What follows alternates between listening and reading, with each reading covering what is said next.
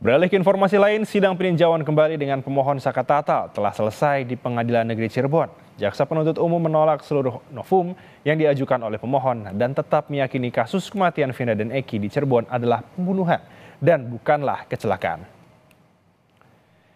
Sidang PK mantan terpidana Saka Tatal dalam kasus kematian Vina di PN Cirebon telah usai Kamis kemarin dengan agenda terakhir menghadirkan ahli hukum pidana dan guru besar UI Yogyakarta, Profesor Dr. Muzakir sebagai ahli. Hasil sidang tidak diputuskan langsung di PN Cirebon, melainkan akan dilaporkan ke Mahkamah Agung.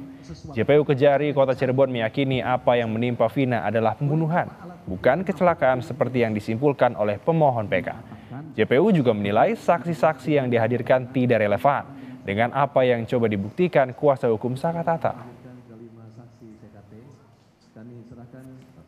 Karena pemohon itu mengajukan novum terkait eh, adalah ini adalah peristiwa kecelakaan lalu lintas. Tentu saja kami harus menolak hal tersebut karena kami tetap sampai saat ini berkeyakinan bahwa peristiwa itu adalah peristiwa pembunuhan dan bukan peristiwa kecelakaan lalu lintas seperti yang disampaikan oleh pemohon. Sementara itu, Saka Tatal berharap permohonan peninjauan kembali dikabulkan. Meski merasa lelah menjalani persidangan, Saka Tatal tetap berjuang.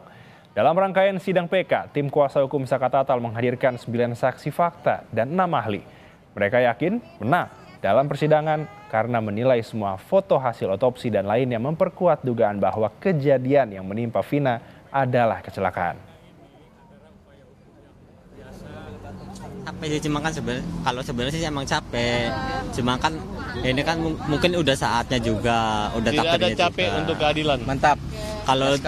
Buat kebenaran apa sih yang enggak buat di- apa apa sih yang enggak yang buat dilakukan? Nah harapannya Antar mudah-mudahan PKSK berjalan dengan lancar dan semoga diterima